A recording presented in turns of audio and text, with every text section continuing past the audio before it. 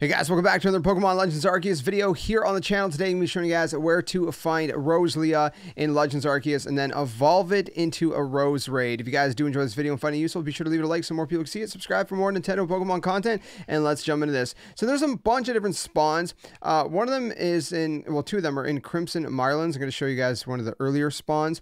This is, uh, you could be found in Gapejaw Bog. Or up here is pretty much more common, I would say, in Brava Arena, just south of it, towards uh, towards Cloudpool Ridge. So when you actually spawn in at Brave, uh, whatever it's called, Brava Arena, what, is that what it was called? I, I already forgot. Anyways, when you spawn in here, you head down here, you can find one right there, right? There's one right here. Uh, and if they do see you, you're going to have to battle them. So try not to get seen. There's also an alpha Roserade over there that you can battle. I've already caught one, so I'm not going to catch one, but you can see that there's like three, right? There's another one right there.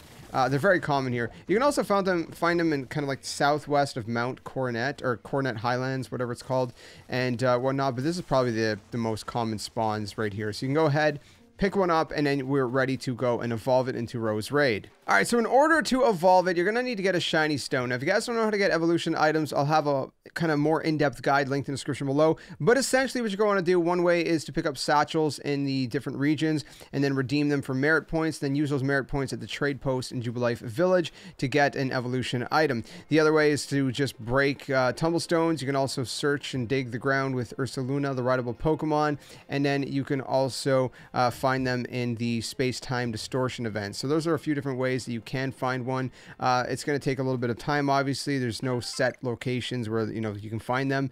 Uh, so do one of those ways, whatever way you choose to do. Whenever you have a shiny stone, we can then go ahead into our inventory and we're going to grab our shiny stone and we are going to use it on Roselia and it's going to evolve into Roserade just like that. It's very, very simple. Again, like most of these Pokemon, the more tedious portion is to actually get these evolution items and uh, and whatnot. But yeah, that's pretty much it. That's how you evolve. Well, I'd say you catch Roselia and then evolve it into Roserade in Pokemon Legends Arceus. Hope you guys found this video useful. If you did, be sure to leave a like, subscribe for more, and I'll see you guys very soon another one. Tell them, friends, game on, and thanks for watching.